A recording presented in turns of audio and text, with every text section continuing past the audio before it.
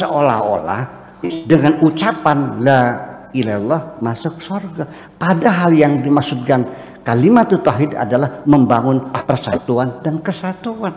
Logis kan?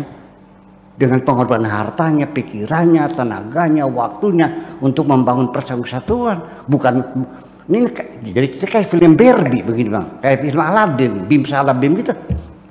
Memang masuk surga dengan ucapan, enggak dong dengan perbuatan. Kalau kita tidak mampu mengamalkan, eh, mengucapkannya, amalkan. Kalau kita tidak mampu mengamalkan, ucapkan. Kadang-kadang kebaikan itu tidak sanggup kita ucapkan, hanya bisa kita tunjukkan dalam bentuk pengamalan. Atau sebaliknya, kita nggak sanggup untuk mengamalkannya, bisanya hanya mengucapkannya, mungkin kondisi fisik, nggak ada biaya dan sebagainya. Jangan kehilangan dua-duanya, tidak mengucapkan dan tidak juga mengamalkan. Dan syukur-syukur dan ini yang paling baik di samping mengucapkan adalah juga sekaligus mengamalkan.